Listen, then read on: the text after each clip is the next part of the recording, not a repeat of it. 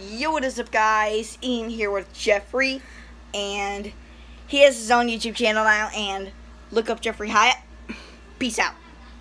And today is gonna be my birthday, so Jeffrey told me happy birthday, and so I miss Jeffrey so much because me and Griff were so we're very best friends.